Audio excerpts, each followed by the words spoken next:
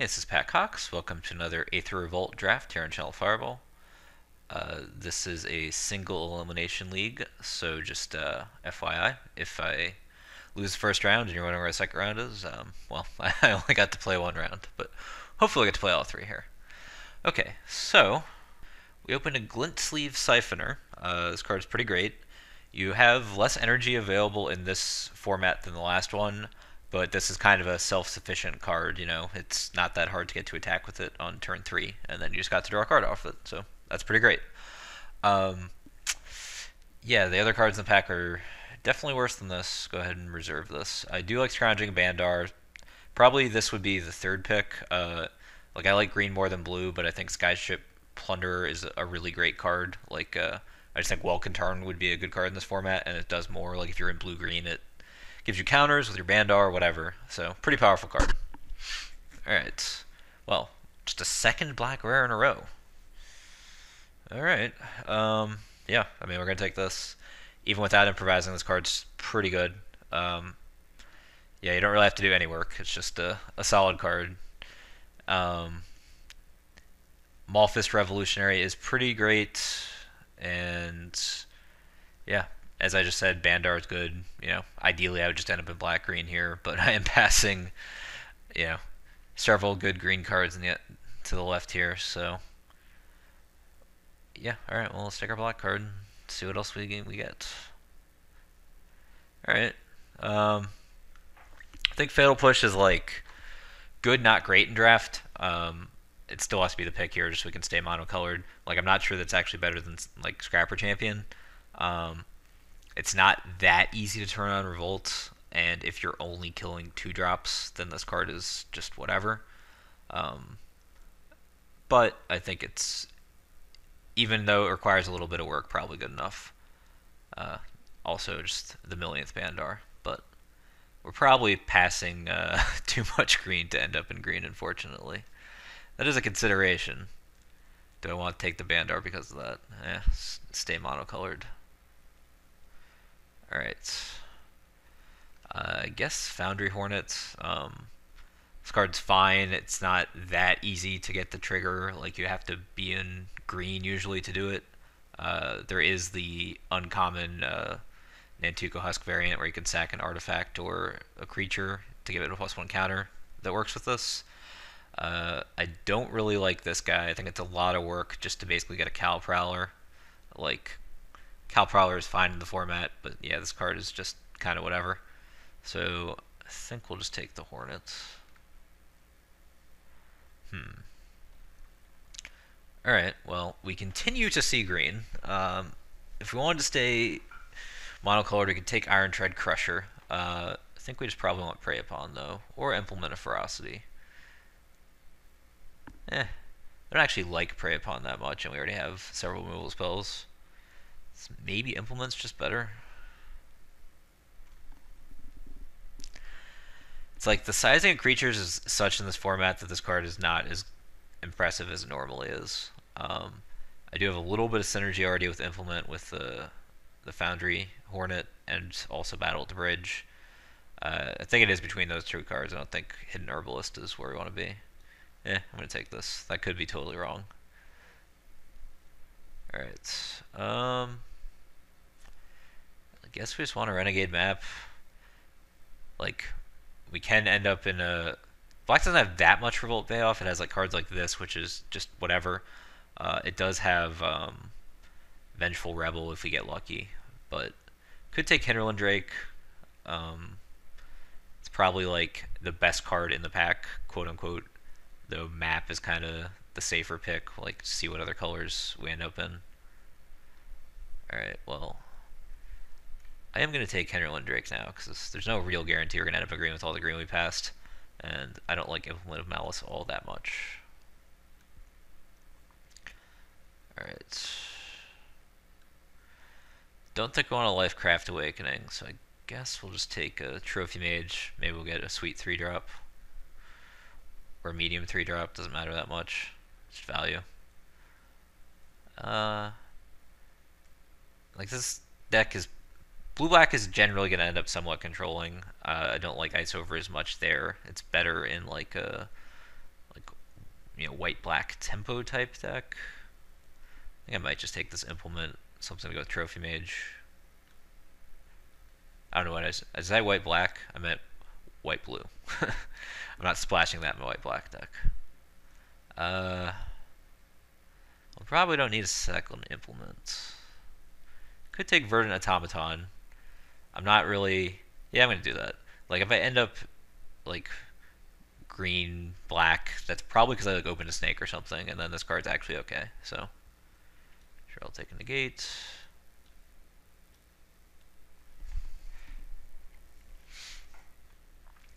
Probably I'm not going to need Whir of Invention, so I guess I'll take this and may or may not actually play it. It's not unplayable, it's just unexciting. Let's take Alley Strangler, which I don't really like very much, hence not even mentioning it a bunch of different times. Well, black does seem open, it's just the black commons are not very deep, so, you know, these cards are pretty mediocre, but, you know, probably near the, the top end of black commons somehow. Alright. So do we get anything in other colors that would make us want to not just stay black for now? Uh, Metallic Mimic, definitely a better like first pick of the draft, but it is still just a pretty solid card. Like you can just look, you know, like Aetherborn, Aetherborn, Aetherborn, um, Rogue, Rogue. You know, like it's not that hard to even without trying get multiple creature types in your deck and like like artificer is very common too and even if you just play this card and then the next turn you know whatever your next drop is you just name that as your creature type and get a plus one plus one counter on that guy. That was already a pretty good card.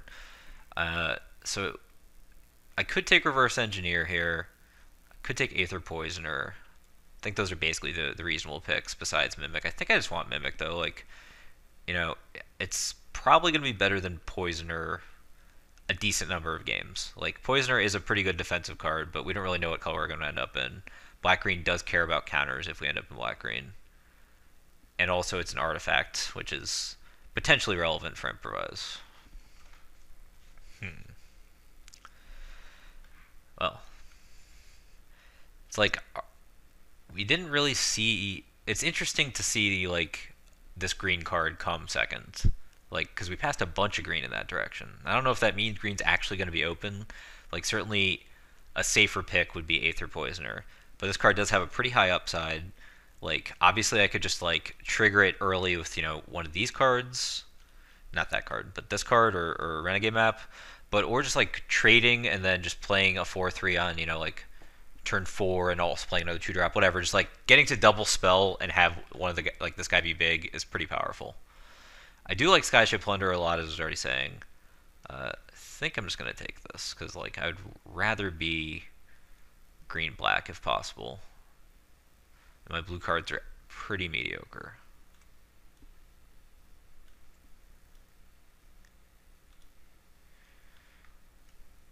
Uh, I guess Aether Herder? I really do not like Silkweaver Elite very much.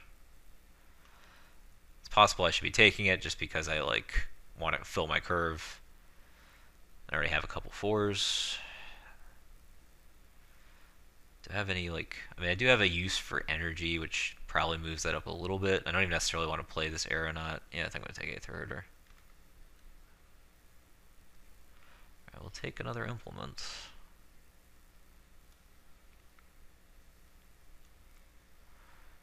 Alright. I guess we want Cruel Finality. I don't like this card all that much. I mean, it's basically, it's like more of a combat trick than a removal spell, don't really have any improvise, and I don't need the three power to crew crushers, at least so far, and probably just not going to happen. So I don't think that card is that valuable compared to just a reasonable spell. Alright, well then we get a crusher immediately. Could just take Mobile Garrison if we don't think we can crew that, but Crusher is a good bit better you probably even if you have to use two things and implements are going to help. Yeah, stick crusher. Ooh, daring demolition, 50th pick. That's pretty nice.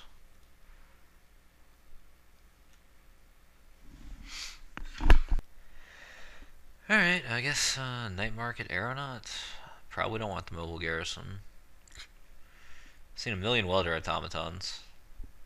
Could just take that feel like I don't really need to. Uh, I would like a Silkweaver Elite over a second Cruel Finality. Final. Yeah. Um, so, I'm not going to play any of these cards. Um, I know this is like a, a, league, so I can't actually play against the cards, but I'm trying to like. This is the card you should hate draft. Is I guess where I'm going with this.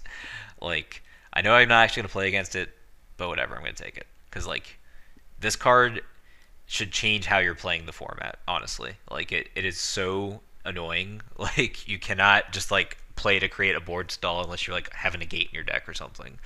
Because against red, you'll just get totally screwed by this card. Welder Automaton like could make my deck if it needs to. Um, I think the odds on were pretty low, but I guess I'll take this.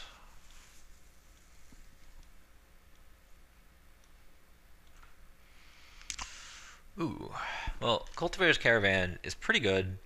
Um, we're probably not going to splash anything, at least that we've seen so far. There's not basically it's not that like we're gonna do, we're gonna need to do anything with this besides crew it. In which case it's just a better crusher, but not by all that much. Uh, Essence Extraction is actually a pretty great card though, so I think that's what we want. There is some consideration, like we don't have a lot of creatures and some kind of suck, so you could take like a Lawless Broker or Peema Outrider here. Like Peema Outrider is clearly way better than Lawless Broker, but we have like some acceptable fours already. Definitely a lot worse than Outrider. Like I would gladly upgrade any of them, but just given that we're trying to make a functional deck, it would be a consideration. I would still probably take Outrider, but I think uh, you just want Essence Extraction here. Thought this was another one. It's just more of a curiosity, which is fine, but I yeah, I don't think we want Metalwork Colossus. Because we just want Hunt the Weak. We want Hunt the Weak and we want some stuff that's cheaper. don't want all these four drops in our deck right now. It's Foil Blooming Marsh worth millions of dollars. It's worth a dollar and seventy three cents. I went and checked. So it's not really millions. It's not really worth picking. We'll take Ghirapur Guide. Definitely want more three drops in our deck. A thing we can hunt the weak on too. I think this card is actually a little better than it was in the last format, but I, in in my current situation, I would just play it. It doesn't really matter. Like in the old format, I would play it. I just need a, a curve. Well, Rush of Vitality is a pretty solid card, so we'll take that definitely would not mind cutting a few of these four drops. Ooh, Thriving Rhino. That is great. Exactly what you want to hunt the weak onto. This card is so good. Um, yeah, I don't think we want Prophetic Prism. We don't have a lot of... Unless we want... We're probably not even to play this Revolutionary, but that would really be the only value thing to do with it. Alright, we're probably not playing any of these cards. Unless we splash something. Which I guess would be Glimmer of Genius. So, sure. Hmm. It's basically Live Fast or Wild Wanderer. I don't really have a lot to do with the mana from Wild Wanderer. Though it's a you know, just random solid card. It does crew Iron Tread Crusher if we end up playing that. That's nice. Or we take Live Fast, which I don't think I've actually played in this format, but it's fine. Um, it's certainly like more of a unique effect than like, you know, another generic four drop that doesn't do that much. And I do have like some use for energy. I'm just gonna take this. Like I don't I don't have anything to ramp into with Wild Wander. It's got to be worse than these other four drops that already aren't that good. Now this is interesting. We could definitely splash this if we want to. Like we have Renegade map. You know, it's a late game card. Again, we have million four drops. Like it's probably better to just take the Secret Construct or the Sage of Shaila's Claim. Uh, which is not totally insane with like the energy stuff we have. I think I might actually be right. I think this card has gotten a little less bad Like it was pretty bad before, but there's less servos around, so it's like acceptable now. Maybe it isn't, but feels more acceptable. Hmm. This is a pretty good sideboard card. It's like if you play against a deck with a bunch of uh, pacifism type effects, like white and blue has a bunch of them, then you can just uh, get some value out of your card that's quote unquote dead. And I think the Lawless Broker there was actually a pretty decent pickup because it crews Iron Tread Crusher. So I think we'll take this as a, a late game type card, I guess. I mean, we're pretty unlikely to side this in, but someone's getting real grindy, I guess it's possible. Hmm. Takedown is a good sideboard card, but I might actually play the Scavenger main deck as the top top end. Like it's better than this stupid thing.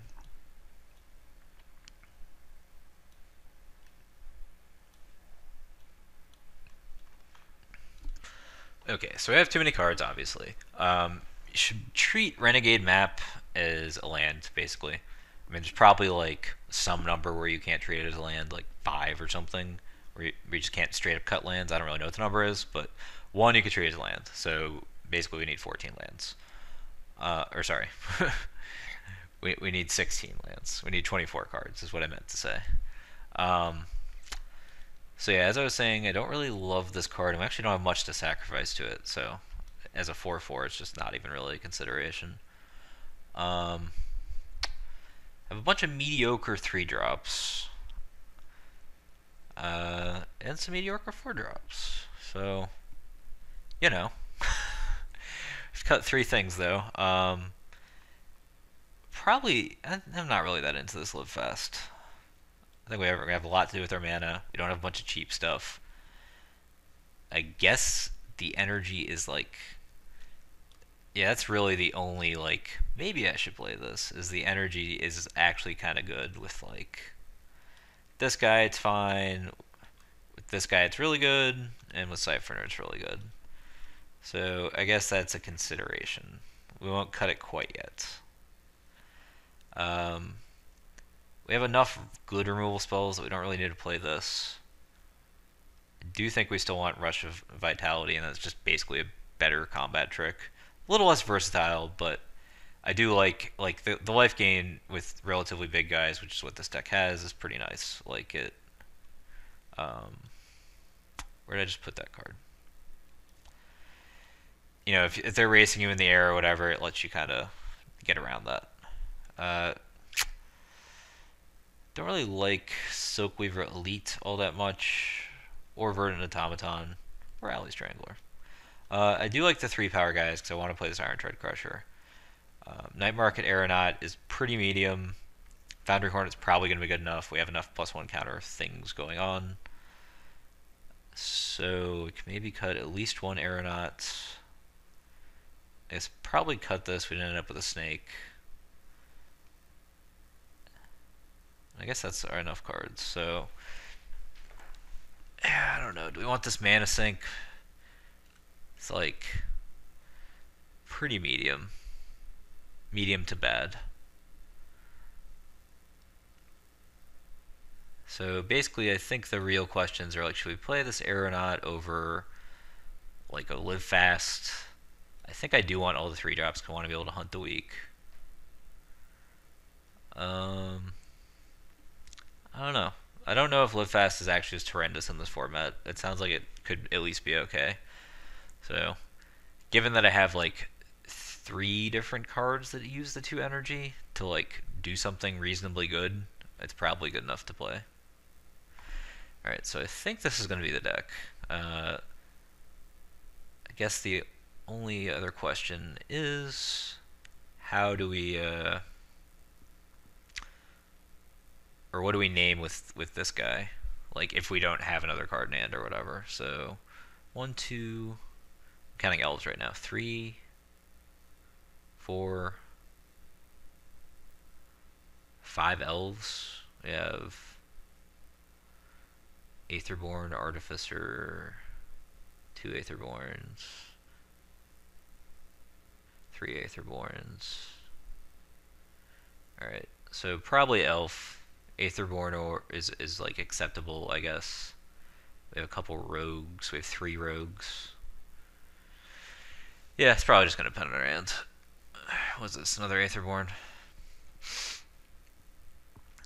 Also not sure that Crusher's like that good in this deck. It doesn't seem that easy to crew. Yeah, I don't know. I love me a Crusher. It's not that exciting if I have to tap two things to crew it. Stupid three drop guys are. So I have, without any extra help, I have like two things that, three things that crew it. This doesn't really count. So I'm just gonna attack with that. So like I have three things that crew it and then conditionally because of basically I have five because implements I, will count those, but it's not a ton. Yeah, hunt the weak kind of counts too, so maybe it's six. It's not horrendous. So basically, I'm trying to figure out if I should play this stupid Aeronaut, which is very medium, or this Iron Tread Crusher, which is great, but I will not be able to crew every game.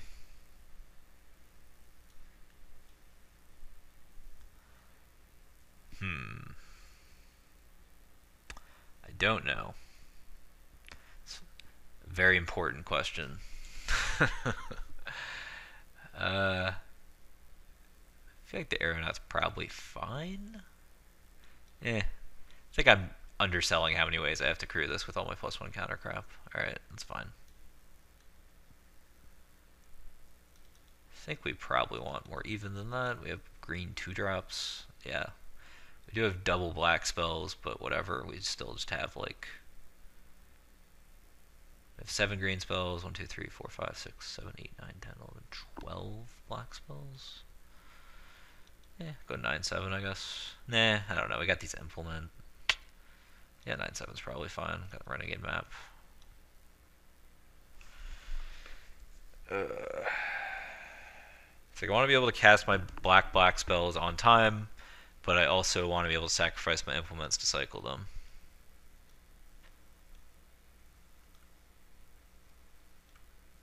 This is probably fine.